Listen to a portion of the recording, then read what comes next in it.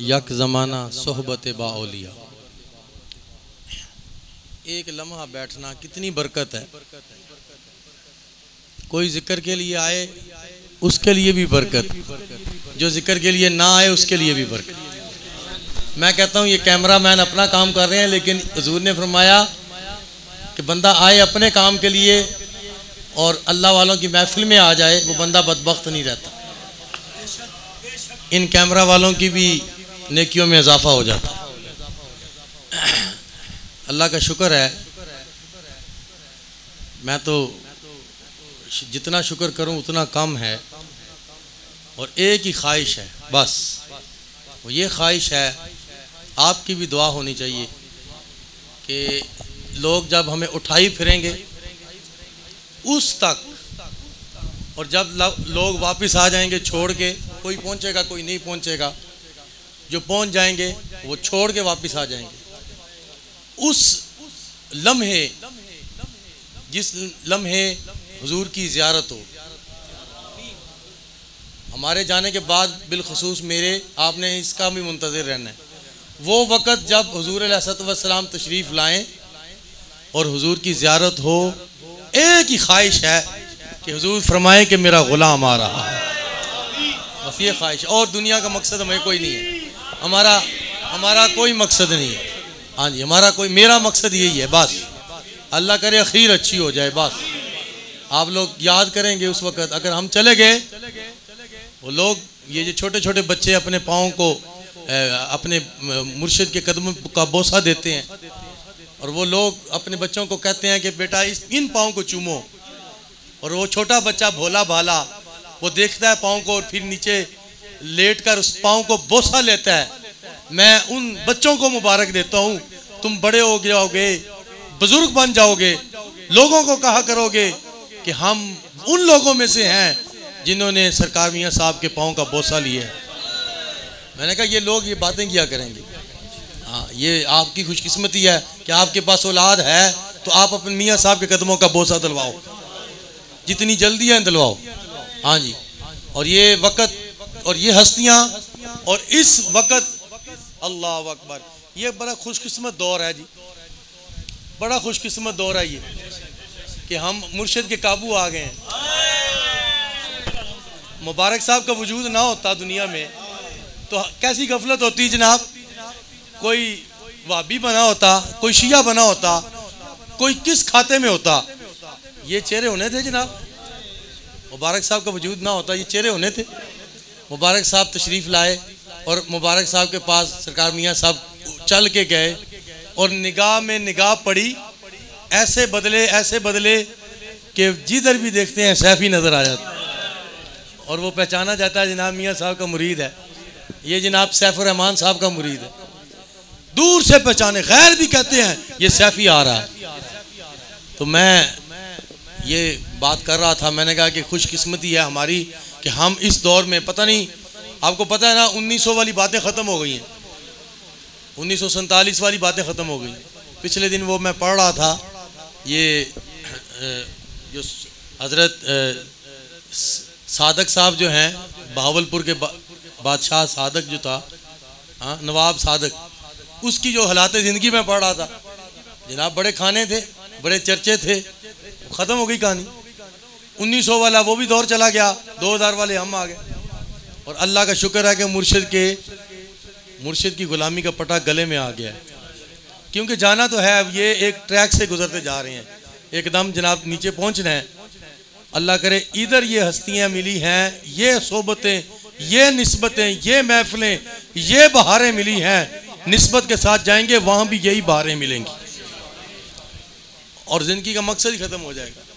एक थोड़ी लाइट चली जाए, अंधेरा हो जाता है कमरे में तो खौफ आने लग पड़ता है।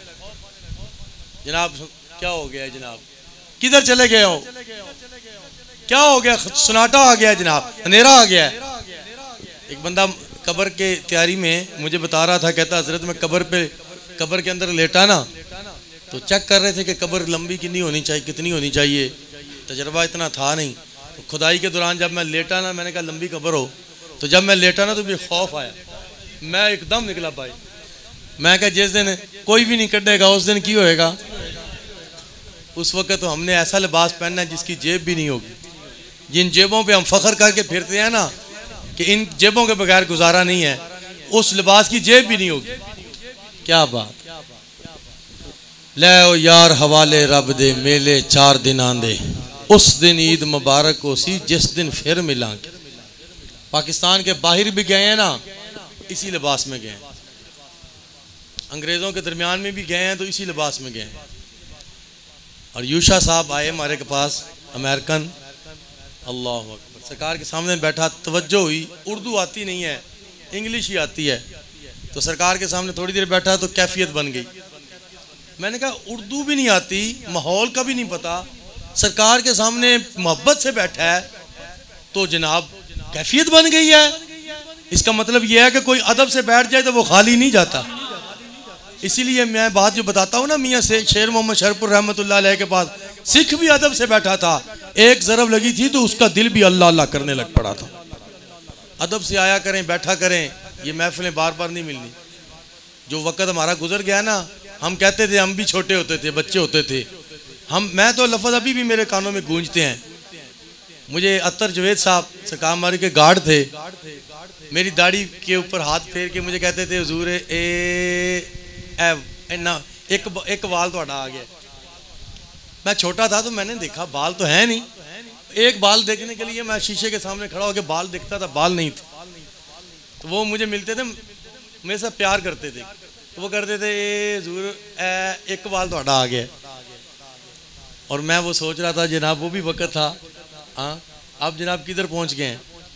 इसी तरह बाप बाप, दादा और फिर बच्चे जनाब, फिर बंदा करता क्या है जनाब? ये ज़रा गौर किया। बंदा बड़ा हुआ, छोटा था, बड़ा हुआ, पढ़ने लग पड़ा। पढ़ने के बाद काम करने लग पड़ा। काम करने के बाद काम नहीं मिला, परेशान। शादियाँ हुई, शादियों के बाद मामला ठीक ना चला, फिर परेशान। फिर जनाब कारोबार दूसरा ढूंढ लिया, उसमें वो चल गया चल गया। चल गया तो रब के साथ, रब रब से गाफिल हो गया। ना चला तो फिर परेशान। इसी तरह होता है ना? फिर जनाब एज गुजरती है, बाबा बन जाता है, बच्चों के ऊपर मामला आ जाता है, बच्चों ने काम चला दिया तो वो खुशकिस्मत बच्चे जो नेक होते हैं तो चल पड़ते हैं। वरना बाबे भी मैंने रोते देखे। एक बाबा बैठा पिल्लर के पास हमारे उधर आस्थाने पे रो रहा था।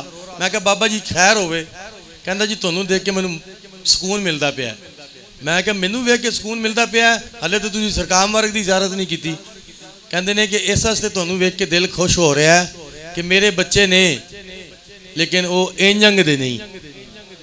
ਮੈਂ ਕਿਹਾ, ਇਹ ਜਿਹੜਾ ਲਿਬਾਸ ਪਾਇਆ ਨਾ, ਇਹ ਮੈਂ ਵੀ ਇੰਜ ਹੀ ਨਹੀਂ ਸਾਂ, ਮੈਨੂੰ ਤੇ ਮੁਰਸ਼ਿਦ ਨੇ ਪਵਾਇਆ ਮੈਂ ਕਿਹਾ, ਤੁਹਾਡੇ ਬੱਚਿਆਂ ਦਾ ਕੀ ਮਾਮਲਾ ਹੈ? ਕਹਿੰਦੇ ਨੇ, ਮੇਰੇ ਬੱਚਿਆਂ ਨੇ ਮੈਨੂੰ ਘਰੋਂ ਬਾਹਰ ਕੱਢ ਦਿੱਤਾ ਇਹ ਚਿੱਟੀ ਦਾੜੀ ਤੇ ਇਹ ਮੇਰੀ ਹਾਲਤ ਮੈਂ ਤੇ ਕਿਸੇ ਨੂੰ ਗੱਲ ਦੱਸਦੇ ਵੀ ਮੈਨੂੰ ਰੋਣਾ ਆ ਜਾਂਦਾ ਕਿ ਮੈਂ ਕਿਸੇ ਨੂੰ ਇਹ ਕਹਾਂ ਕਿ ਮੈਨੂੰ ਪੁੱਤਰਾਂ ਨੇ ਬਾਹਰ ਕੱਢਿਆ ਤੁਸੀਂ ਕਿੰਨੇ ਖੁਸ਼ਕਿਸਮਤ ਹੋ ਕਿ ਤੁਹਾਡੇ ਵਾਲਦ ਸਾਹਿਬ ਤੇ ਤੁਸੀਂ ਐਸੇ ਵਾਲਦ ਸਾਹਿਬ ਦੇ ਪੁੱਤਰ ਹੋ ਕਿ ਤੁਸੀਂ ਸਟੇਜ ਤੇ ਬਹਿ ਕੇ ਬਿਆਨ ਕਰ ਰਹੇ ਹੋ ਤੇ ਤੁਹਾਡੀ ਸ਼ਕਲ ਵੇਖ ਕੇ ਮੈਂ ਖੁਸ਼ ਹੋ ਰਿਹਾ ਕਿ ਕਾਸ਼ ਕਿ ਮੇਰਾ ਪੁੱਤਰ ਵੀ ਇੰਜ ਹੁੰਦਾ ਮੈਂ ਕਿਹਾ ਕਦੀ ਇਸ ਹਸਤੀ ਦੇ ਕਦਮਾਂ 'ਚ ਤੂੰ ਪੁੱਤਰ ਬਿਠਾਏ ਹੁੰਦੇ ਤੇ ਉਹਨਾਂ ਨੇ ਵੀ ਇੰਜ ਦਾ ਹੀ ਹੋਣਾ ਸੀ ਇਸੇ ਲਈ ਮੈਂ ਕਹਤਾ ਹੂੰ ਨਾ कि अपना मामला ठीक अब औलाद का रखें, औलाद को बिगड़ने ना दें।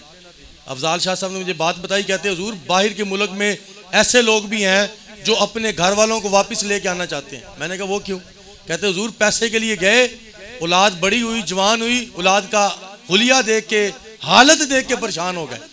कहते कि, बाप, कि बेटा ऐसे बन रहे ऐसे माहौल में पैसों पर लानत डालते हैं यार, औलाद ही खराब हो गई, फिर किस खाते के हम जनाब, वो सारा फैमिली पाकिस्तान वापस आ गए। कहते कि हमें पैसा कमाने के लिए जाएँ, औलाद ही हमारे हाथ से निकल जाए। तो इसीलिए दोस्तों, ज़िंदगी ये अच्छी गुजर रही है कि हम अल्लाह वालों की नस्बत में आ गए। और बकरी भी फसी सी ना तो भेड़िया भी फसया। है, और नवे बंद वास्ते मैं गल कर ही देव। बकरी जा रही थी, भेड़िया पीछे पीछे, बकरी आगे आगे। भेड़िया भाग रहा था बकरी को पकड़ने के लिए। जंगल में से गुजरते जा रहे थे। दलदल में आए और दोनों फंस गए। दलदल में छलांग लगाई बेड़िया भी फंस गया, बकरी भी फंस गई। थोड़ा या फासला सी, दोनों फसे पे ने ना अगे ना पिछे। बकरी बेड़िए बेड़िए वेखती है तो गुस्सा भी आता है तो हसदी भी है। बेड़िया कहता है, सवेर दे फसया शाम हो गई, शाम हो चली है। मैंने ये दस कि तू मैं वेख के हसदी क्यों है तो मैनू वेख के तेन गुस्सा क्यों आता है? ਉਹਨੇ ਕਿਹਾ ਗੁੱਸਾ ਤਾਂ ਆਂਦਾ ਕਿ ਤੂੰ ਥੋੜਾ ਜਿਹਾ ਵੀ ਅੱਗੇ ਹੋਇਆ ਤੇ ਤੂੰ ਤੇ ਮੈਨੂੰ ਖਾ ਜਾਣਾ ਹੈ। ਹੱਸਦੀ ਇਸ ਵਾਸਤੇ ਪਈਆਂ ਕਿ ਸਵੇਰ ਦਾ ਤੂੰ ਵੀ ਫਸਿਆ ਤੇ ਮੈਂ ਵੀ ਫਸਿਆ ਫਸੀਆਂ ਲੇਕਿਨ ਹੁਣ ਸ਼ਾਮ ਹੈ ਮੇਰਾ ਮਾਲਕ ਬੱਕਰੀਆਂ ਦੀ ਗਿਣਤੀ ਕਰੇਗਾ ਉਸ ਗਿਣਤੀ ਦੇ ਵਿੱਚ ਇੱਕ ਬੱਕਰੀ ਘੱਟ ਹੋਏਗੀ ਉਹ ਮੇਰਾ ਮਾਲਕ ਮੈਨੂੰ ਲੱਭਣ ਵਾਸਤੇ ਪਿੱਛੇ ਆਏਗਾ तेरा मालक कोई नहीं है तू इतने ही फंसया रहेगा दिहाड़े क्यामत हम उन्हीं ग्रुप में होंगे जनाब हाय हाय हाय उस दिन पता लग सी जब एक बंदा भागता फिरेगा, क्यों भाग रहे हो? जनाब, नेकी चाहिए नेकी चाहिए नेकी चाहिए। माँ भी नेकी नहीं देगी, बाप भी नेकी नहीं देगा। उस वक़्त अल्लाह अकबर, मन तशब्बह बिकौमिन फहुआ मिन होम जो जिस कौम के साथ मुशाबत करेगा, उसी कौम के साथ उठाया जाएगा। अल्लाह वालों के साथ मुशाबत है, अल्लाह वालों के ग्रुप में उठेंगे। अल्लाह करे खीर अच्छी हो जाए। हाँ बस। खादम साहब फरमाते थे ना, बात तो वही है जब रूह मेरे पैराहने खाकी से निकली तो रोज़े से आवाज़ आई, ओ मेरा फ़कीर आया। बस ये बात है ये ख़त्म यहाँ पे आके कहानी हमारी ख़त्म होनी है। अल्लाह करे, ये वक़्त अच्छा गुजर जाए। ये दुआ किया करें, मेरे वालिद साहब जो हैं, मेरे लिए बड़ी दुआएँ करते हैं, और बड़े, बड़ी दुआएँ देते हैं। मेरी माँ भी बड़ी दुआएँ देती और इतने मेरे लजपाल वालदेन हैं, क्या बताऊँ? उनको इतनी मोहब्बत है। मेरे वालिद साहब अक्सर मुझे फरमाते हैं कि पुत्र मैं खुश होवांगा मेरे बाद भी तुसी दीन का काम करोगे बस ये खुशी है उनकी और कोई खुशी नहीं मैंने नहीं देखा कि मेरे वालिद साहब को किसी दौलत से मोहब्बत हो या मेरे वालिद साहब किसी दौलत की कोई बात करते हो हमसे मैंने नहीं देखा आज तक कि मेरे वालिद साहब ने किसी दौलत के ऊपर परेशानी में आई हो परेशानी आई है तो दीन के काम में परेशानी देखी है खुशी भी देखी है तो दीन के कामों में खुशी देखी ਉਹ ਉਸ ਟਾਈਮ ਖੁਸ਼ੀ ਆਂਦੀ ਏ ਜਦੋਂ ਬੰਦਾ ਨਵਾਂ ਮੁਰੀਦ ਹੁੰਦਾ ਹੈ ਫਿਰ ਉਹ ਜ਼ਿਕਰ ਕਰਦਾ ਹੈ ਫਿਰ ਉਹ ਕੰਮ ਦੀਨ ਦਾ ਕਰਦਾ ਹੈ ਤੇ ਆਪ ਦੀ ਖੁਸ਼ੀ ਹੁੰਦੀ ਹੈ।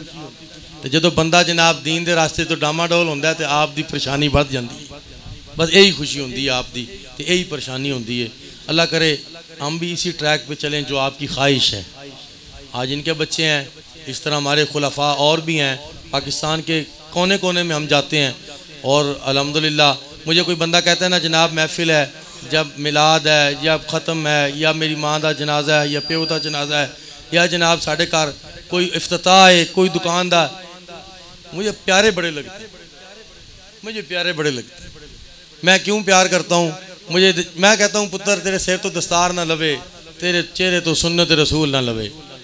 मैं मियाँ वाली क्या, न्याजी साहब, मुनीर न्याजी साहब जो दुनिया तो गए कहें मैं लोग कहें सन, हजूर इन्हों के सिर से दस्तार रख दईए ਮੈਂ ਕਿਹਾ ਦਸਤਾਰ ਦਾ ਹੁਣ ਫਾਇਦਾ ਕੋਈ ਨਹੀਂ ਜੀ ਹੋਣਾ ਕਹਿੰਦੇ ਅੱਛਾ ਮੈਂ ਕਿਹਾ ਹੁਣ ਤੇ ਨੇਕੀਆਂ ਦਾ ਕੰਮ ਖਤਮ ਹੋ ਗਿਆ ਹੈ। ਇਹ ਕਰਦੇ ਹੁਣ ਕਰ ਵੀ ਨਹੀਂ ਸਕਦੇ ਲੇਕਿਨ ਹਾਂ ਇੱਕ ਸੁਨਨਤ ਜਾ ਰਹੀ ਹੈ ਤੁਹਾਨੂੰ ਪਤਾ ਨਹੀਂ ਕਿਹੜੀ ਸੁਨਨਤ ਜਾ ਰਹੀ ਹੈ ਉਹ ਮੂੰਹ ਤੇ सजी हुई सुन्नत रसूल दाढ़ी मुबारक साथ जा रही और मैंने कहा कोई सुन्नत नहीं है साथ जाने वाली बाकी अमाल जितने होंगे नेक उसके हिसाब से जजा खैर मिलेगी और उस उसी के हिसाब से सज़ा मिलेगी अल्लाह ताला से दुआ है, अल्लाह ताला हमें अमल करने की तोफ़ी अता फरमाए। मैं काफ़ी लेट आपको बिठाई रखा है, महफिल हुई है। ये नात पढ़ते सन, मैं कहता सर यार इन्हों की ख्वाहिश है कि सू तवज्जो कर मेरी ख्वाहिश है कि ये आपस कितने जख्मी ना हो जाए हाँ इन्हों की यही ख्वाहिश।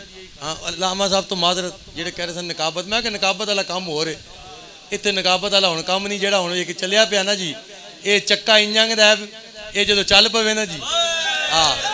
ਇਹ ਫਿਰ ਘੁੰਮਦਾ ਜਾਂਦਾ ਤੇ ਫਿਰ ਟੁਰਦਾ ਜਾਂਦਾ ਹੈ, ਟੁਰਦਾ ਜਾਂਦਾ ਹੈ।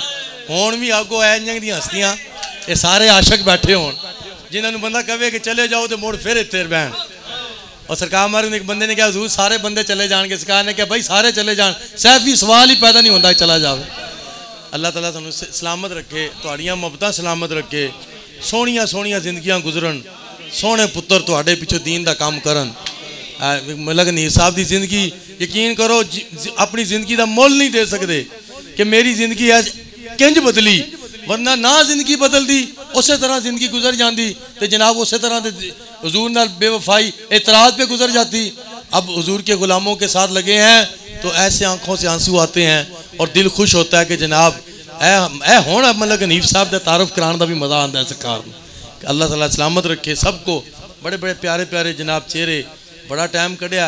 हज़रत साहब बड़े मसरूफ़ प्रोफेसर साहब, मैं हैरान हूँ कि माशाल्लाह सारे खूबसूरत चेहरे आज आए हैं। दिल खुश हो गया है। इसे ये बैठ के दिल खुश हो गया और मेरे वाले साहब, मैंने एक चकवाल में पिछले दिन गया। सरकार मारिक को मैंने आपका फ़ोन सुना, आपने फरमाया, सैयद हसनैन शाह साहब को साथ मिला लो। किधर हो? मैंने कहा ज़रूर चकवाल में हम हैं और हमें रास्ते का थोड़ा पता नहीं चल रहा तो आगे वैरान जगह है, पहाड़ है। हमें नहीं पता कि हम किस तरफ़ जाएँगे। तो सरकार मारी ने हमें फरमाया कि आप सैयद हसनैन शाह साहब को मिल लो। और मैंने कह दिया कि हसनैन शाह साहब को फ़ोन किया, हसनैन शाह साहब तो करीब ही थे कहीं। तो मैंने कहा, हजूर, वो हसनैन शाह साहब जो हैं, वो सैयद ज़ादे हैं, हजूर परेशान होंगे हमारे पीछे। से कहा कहते पुत्र, मुबारक साहब, पंजाब चाण के मियाँ की ज़रूरत नहीं सी, घर बह जाए तो तू अल्लाह बंद तू फ़ोन कर शाह। फिर थोड़ी देर बाद फ़ोन आ गया। हसनैन शाह साहब से रबता मैं हजूर, उन्होंने गल की उन्हें कहा, मैं हुने थोड़े कोल आया। बड़ी खुश। रात दस ग्यारह बज गया हमें मेजर यकूब साहब के पास चले गए, वहाँ बैठे रहे। वहाँ पे पहाड़ों में जनाब तो सरकार का फ़ोन आया, फिर आपने पूछा, केड़े केड़े साथी ने तेरे कोल? मैं क्या ज़रूर हसनैन शाह साहब है ने नाल। बस इन्होंने मेरी गल करा मेजर यकूब साहब, सब जनाब एक एक बंदे का जनाब, इतनी फ़िक्र मैंने कहा, रात के पिछले पैर तो बाप को भी नहीं होती कि मेरे बच्चे किन्ने का हार दें। लेकिन अल्लाह का बंदा किधर बैठा है? उसको ये फ़िक्र है कि जनाब पीछे कम किन जा रहा है? एक किस किस किस तरह मामला? हमें जनाब लोगों ने कहा, जनाब, वो मोटरवे बंद हो गई, फोग की वजह से धुंध की वजह से। कहते ज़रूर हूँ की करेंगे? मैं साढ़े अपने क्या मुताम बड़े ने। एक तो इन्होंने चंद बनाए ने ना मोटरवे ते। मैं क्या एक मियाँ मुबारक साहब की निगाह काम क्या मुताम बने ने। ये बड़े ने। कहते ने की करा मैं कि हूँ ही वेखना। मैं फ़ोन कढ़िया तो अल्लाह सलामत सेहत फरमाए सिला देवे। जबार साहब न। जबार साहब ने मैंने कहा, जी केड़ा है मैं क्या तुम जनाब जबार साहब हो। कहते जी। मैं क्या जनाब तुम कितने हो? कहते तुम कौन हो? मैं क्या जनाब तुम हो कितने कहते जनाब तुम अपना तारफ करवाओगे? अद्धी रात में गड्डी चला रहे तुम कौन हो? मैं क्या बंदा हूँ मैं पहचान नहीं रहा। मेरे नाल बंदा कहता ज़रूर मैं फड़ाओ मोबाइल। मैं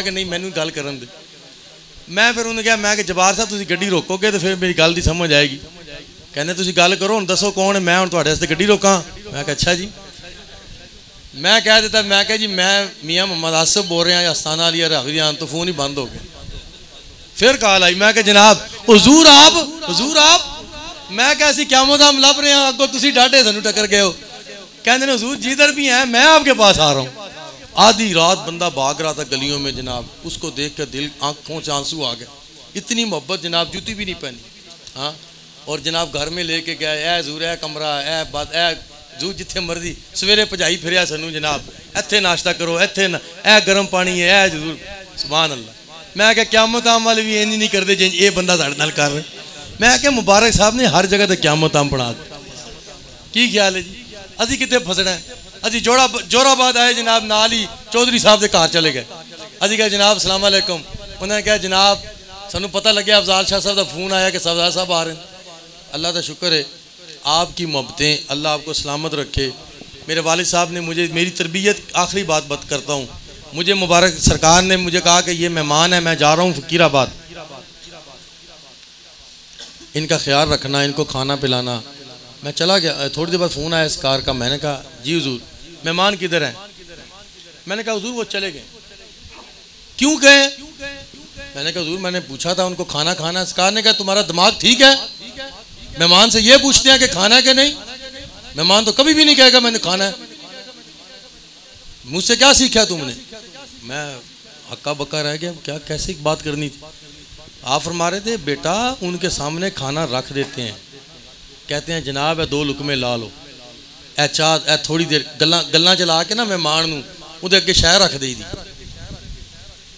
ਇਹ ਮੁਹੱਬਤਾਂ ਤੇ ਜਨਾਬ ਹੁਣ ਸਾਡੇ ਉਸਤਾਦ ਹੀ ਬੜੇ ਮੁਤਾਸਰ ਨੇ ਬੇਰੇ ਵਾਲੇ कहते हैं मियाँ साहब की मुहब्बत इन्नी है कि जनाब टाइम भी देंगे ने मुहब्बत भी करते हैं प्यार भी करते हैं खिदमत भी करते हैं अल्लाह सलामत रखे जी ये तरबियतन चीज़ें हैं जो सकाम मार्ग हमें साथ साथ हमारी पॉलिश करते हैं हमें और हमारी खुशी होती है अल्लाह ताला इन हस्तियों को सलामत रखे जलाल भी आता तो बड़े प्यारे लगते हैं, जमाल भी आता तो बड़े प्यारे लगते हैं।